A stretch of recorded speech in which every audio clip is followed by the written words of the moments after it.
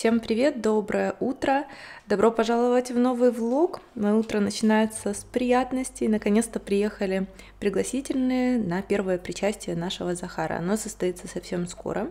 Я настолько была занята какими-то другими делами. Мы учили молитвы, все тексты. А, их столько оказалось, что я обалдела. Но вот что касается организации, все, как говорится, в последний момент. И э, я заказывала эти пригласительные на польском Allegro, это типа как eBay, там можно найти все что угодно, в том числе и вещи handmade. Можно было выбрать самой дизайн, мне понравился вот такой. Часть элементов, конечно, напечатана на принтере, но все равно есть детали, которые вручную приклеивались, бантик завязан, и я уже не буду ничего писать внутри, потому что я заполняла все бланки для каждого гостя, и здесь также указаны детали самого мероприятия, Э, где состоится служба, э, где пройдет коммуня, по-польски это коммуня, и также где мы будем отмечать адрес ресторана. А, и также к каждому пригласительному прилагался вот такой крафтовый конверт. Мне очень нравится, как вышло в итоге, и я без преувеличения могу сказать, что это очень важный день в жизни э, каждого ребенка здесь, наряду с 18-летием. Так что на этих выходных будем развозить пригласительные. Я сегодня очень плохо спала, потому что моя мама возвращалась в Украину. Так сложились обстоятельства, что она вынуждена была поехать, и э, сколько бы я ее не просила, не уговаривала, не предлагала какие-то другие решения, э, к сожалению, это было неизбежно.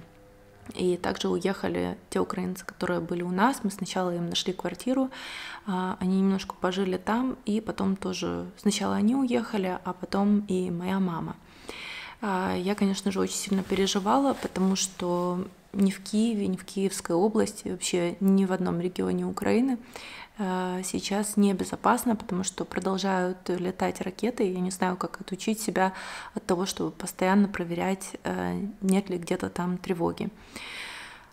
И я, конечно, в последнее время настолько сильно себя запустила и начинаю откручивать все назад для того, чтобы не превращаться э, в моральную физическую развалюху, потому что если я угроблю себя и внутренне физически, никому от этого не будет легче и проще, и тем более моей семье. А сейчас я решила не краситься особо, ну как, нанесла блеск, для губ и прозрачным гелем зачесала брови, чтобы вас тут сильно не шокировать, но есть как есть. Я сейчас еду к косметологу и попрошу, чтобы со мной что-то сделали. И также я уже вижу несколько забитых пор у себя на лице. Нет каких-то суперактивных прыщей, но тем не менее я нуждаюсь в чистке.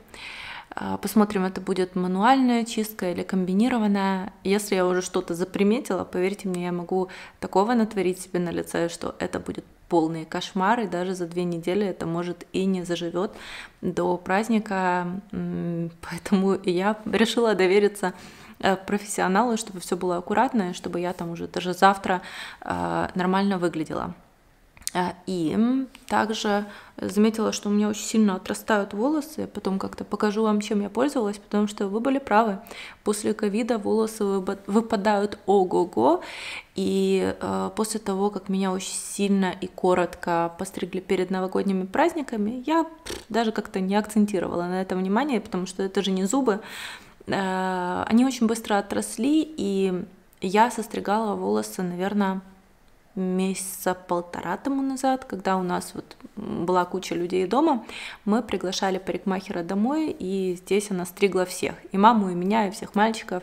Э, мама она даже красила, моя мама осталась довольна а ей не всегда сразу можно угодить, э, но она говорит, что ее хорошо постригли и покрасили, я думаю, фу, слава богу, потому что у нее короткая стрижка и волосы очень плохо обесвечиваются. И она могла не просто остаться с плохой стрижкой, а еще и желтого цвета, но получилось очень красиво. Меня тоже постригли, и сейчас вижу, что волосы снова отросли, и пока что не буду их трогать. Сегодня, девочки, я еле высушила голову, уже лишь бы как просто феном, а, потому что у меня болят и руки, и ноги. После вчерашней тренировки я реально хожу на прямых ногах, потому что я не могу согнуться. И не хочу обрезать сейчас волосы, потому что, возможно, я сделаю какую-то прическу на первое причастие, но меня смущает то, что в 9 часов мы должны быть в костеле с наряженными детьми, мне нужно успеть накраситься, еще доехать в центр Кракова, я боюсь, что я не успею еще изгонять к парикмахеру, поэтому хоть как-то там и закрутить, завязать, ну, чтобы было опрятно, а, а если я ничего не придумаю, то, может, чикну, как раз освежу свою прическу. Не могу на себя смотреть, признаюсь вам честно. Вот вообще, я, я себя довела, и мне кажется, что даже время декрета я никогда себя так не запускала в плане ухода, в плане вообще того, чтобы следить за собой, все там нашлепала, вечером умылась, плюхнулась спать, если удастся уснуть, и это как бы все. Так что начинаю сейчас акцию реанимации себя, своего внешнего вида а, перед, на самом деле, даже двумя праздниками, которые будут в нашей семье в июне. В прошлый раз мы с вами гадали, что за цветок такой у нас появился, он уже отцветает, и некоторые девочки писали, что это рододендрон. И я потом уже нашла этикетку. Действительно, это рододендрон. Еще раз убеждаюсь в том, что вы у меня знаете все. В прошлом влоге мы с вами гуляли по саду, и я совсем забыла, что у нас есть третья глициния, и я даже не видела, что она распустилась. Мне Томик потом сказал, я прибежала посмотреть, Боже, какая красота! Может, камера этого не передает, и она совсем еще маленькая, но когда-то она разрастется и будет выглядеть как такой нежно-фиолетовый водопад. Я балдею. Уборка не отпускает. У меня сегодня стирка детских вещей, уборка в их ванной комнате. Прежде чем я этим займусь, я подумала, что я сначала помою все свои кисточки, заодно все переберу. А, во-первых, они, в принципе, в этом нуждаются, и не помню, когда я это делала в последний раз. И также я регулярно встречаюсь с девочками, кто временно переселился сюда, в Польшу, без ничего. А, передаю какие-то вещи, которые у меня есть в избытке, что-то для деток. И некоторые девчонки просили меня какие-то кисти, неважно, новые, не новые, что-то, чтобы можно было накраситься. И, как видите, кисточек у меня много, поэтому есть чем поделиться. Не знаю, какие из них чистые, какие грязные. Частью пользовалась мама, частью я, девочки тоже, которые были у меня. Поэтому мне нужно сейчас все перемыть. И э, для того, чтобы все хорошо высушить, я буду использовать вот такой стенд. Они продаются на Алике. Моему 150 тысяч лет, но я не вижу смысла менять, даже несмотря на то, что вот эти отверстия здесь силиконовые немножечко пожелтели. И сушу кисточки вверх ногами. Тогда кисти гораздо дольше служат. Я не помню, когда я выбрасывала какие-либо кисти, честно говоря. Они все в нормальном состоянии, когда помоются вообще как новые практически. И также иногда кисточки продаются в вот таких сетках. Я никогда их не выбрасываю, они растягиваются, и вообще их можно купить отдельно на том же алике. Если ворс синтетический, то все равно, как сушить кисточку, а в случае натурального ворса это супер классная идея, потому что тогда все высыхает ровненько и ворс не торчит. И форма у кисточки сохраняется. Так что берусь за дело. У меня сегодня, как видите, очень много работы. И помимо кисточек тоже.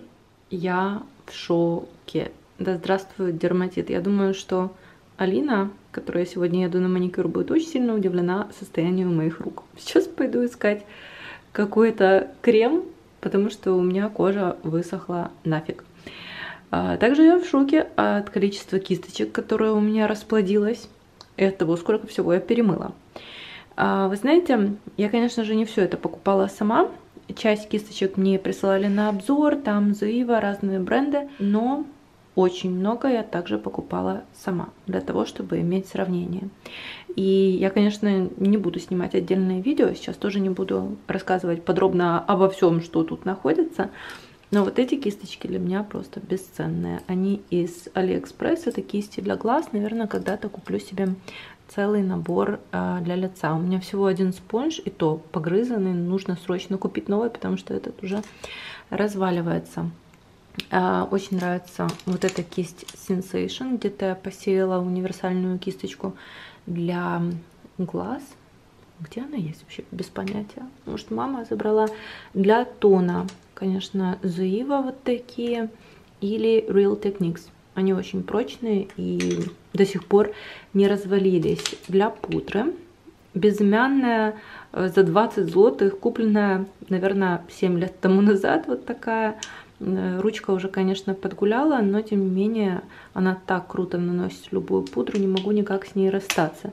И вот это от EcoTools потрясающая. Покупала на iHerb, между прочим, iHerb сейчас э, уже снова доставляют в Украину. Я оставлю вам ссылки на э, какие-то кисточки или на наборы, э, которые я люблю, и большая часть, наверное, будет из Алиэкспресс. Где-то тут отдельно отложила. Вот моя кисточка обожаемая. Также мне нравится польский бренд Hakuro, Hulu, Hulu, Hulu Brush, по-моему, так и Зуива. 227, 228, еще знаете, какая для подводки. Такая скошенная, я ее использую для бровей. Э, не знаю даже, чем ее можно было бы заменить, но остальное так, можно найти в других брендах. А это, пожалуй, вот самое-самое. Короче, места для всех кисточек у меня не хватило. Я сейчас запаковываю их в эти чехлы. И хотя бы вот так буду сушить, то есть на краю чего-нибудь. У меня это стиральная машинка. Я заметила, что когда я сушу кисти вверх ногами, они потом реже расклеиваются а, в области ручки. А, надо было бы радоваться, что всего так много. Но я еще нашла один контейнер с кисточками. Кстати, вот это еще одна любимая кисть для пудры. Ну ничего, будет чем делиться. Несколько новинок для дома. Я помню, что я обещала вам показать одежду и обувь, но погода меня совершенно не мотивирует. Я сама это все не ношу, потому что у нас очень холодно. Напишите, а как с летом у вас. Э, но тем не менее, для дома мне захотелось кое-что приобрести. Я была в аутлете краковском, он называется Factory. Э, туда нужно ехать или на машине, или на автобусе. Он находится как бы практически за городом. Так вот, помимо того, что там очень много спортивной одежды и не только все со скидками, э, Например, есть C&A, CCC, ну такой как бы торговый центр, где много именно эм, аутлетных магазинов, и Обек там, и Фурла раньше была, не знаю, как сейчас, и Манго. Манго закрыли, к сожалению, какое-то время тому назад, и короче, меня, как всегда, несет вообще не в ту степь. Там есть магазин Хомла. Это именно магазин с артикулами для дома. И вот там все именно с хорошими скидками. Я нашла вот такие красивые стеклянные, это, понятное дело, не хрусталь, а пялочки для десертов мороженица, все это называют по-разному, но я э, уже подавала здесь несколько десертов, очень красивые, они не маленькие, такие средние, я бы сказала. Продаются они по 4 штучки, и я заплатила 29 злотых. Я взяла два набора, и вот думаю, что нужно было взять три. Я вообще пыталась найти что-то из хрусталя, но как-то ничего толкового мне не попадалось. И также взяла вот такие большие бокалы на черной ножке, к сожалению, э, я бы предпочла или на белой, или вообще просто на стеклянные. Это уже из Пепка. И э, в Пепку раньше были очень похожие, я как-то так не заметила, что они все-таки отличаются. А, потому что те были в виде как бы бочонка, а эти более вытянутые. Или для красного вина, но я покупала их для апероля. Потому что для апероля нужно что-то побольше, также там лед, апельсин, все дела. А, короче, сделаешь один раз и потом не бегаешь. У нас уже были гости, оценили, и взяла три бокальчика, я уже столько раз разбирала, разбивала эти комплекты. То Томик что-то разобьет, то я, то в посудомойку складываешь, все треснет. И еще в Пепко нашла стеклянные тарелочки, тоже типа как под хрусталь. Видите, они граненые такие, а, поменьше и побольше. Здесь еще есть золотой ободок. Я подумала, что на праздничных столах будет выглядеть очень симпатично. И также у нас периодически большие грили. Я тоже люблю красиво накрывать на стол. Я думаю, что вы и так знаете, что мне это в удовольствие, и я это делаю в первую очередь для себя, потому что как-то даже приятнее есть. Все еще с наклейками. Такая тарелочка стоила 6 злотых. Взяла две. Вот они еще с какими-то тут штуками. Эта грязь на них насыпалась. Сейчас буду мыть. Это размер побольше, но точно такая же. В общем, э, обещала вам показать еще лампу в ванной комнате. Как-то вечером я настолько быстро отключаюсь и занята то детьми, то еще чем-то. Не успела этого сделать, поэтому давайте покажу хотя бы днем. Вот она моя новая лампа. Вечером она дает супер атмосферный свет, который пробивается сквозь вот эти щели. Э, и выполнена она из какой-то, типа как соломки, наверное. Не типа, но это точно что-то натуральное. У нас здесь окна такие под дерево, и она также перекликается с полкой для ванны. Супер вещь, спасибо вам за рекомендацию, с удовольствием теперь пользуемся. Я в шоке. Сейчас будете в шоке и вы. Я сходила к косметологу, на следующий день я поехала на маникюр. У меня он был довольно поздно, э, в это время Томик был с детьми. Я не знала, чем они занимаются, и пока Алина пилила мне ногти, Томик прислал мне фотографию, где они с мальчиками уже едут с собакой домой. Они отправились на украинскую границу, и Томик где-то там отыскал питомник, почитал отзывы и сам поехал посмотреть, что и как, познакомиться с хозяевами. И на месте принял решение э, не только за меня, но и за нас. Я вам говорила, что таких планов не было, и эм, я не могу сказать, что это, знаете, как замена, что это уменьшает боль э, после ухода Мики, но мне кажется, что Томик уже просто не, не знал, как меня вытянуть из вот этого депрессивного состояния, потому что каждый день ты просыпаешься, новости все хуже и хуже и хуже, и кажется, что хуже некуда, но нет, каждый следующий день доказывает обратное. Я вам говорила, что дома было очень пусто, и я видела, как он скучает. Я вообще, в принципе, никогда не наблюдала его таким грустным. И вот мы шли гулять, и он говорит, и как мы теперь будем без собаки?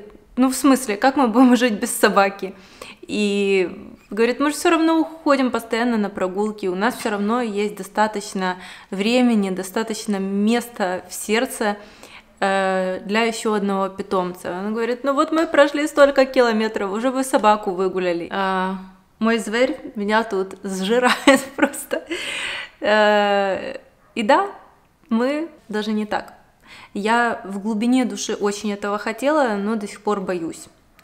Глядя на это маленькое чудо, ощущение тревоги пропадает, и все-таки, знаете, появляется такая надежда на э, лучший расклад, на светлое будущее, на то, что может быть по-другому. И, кстати, по поводу надежды, это еще одно такое интересное совпадение.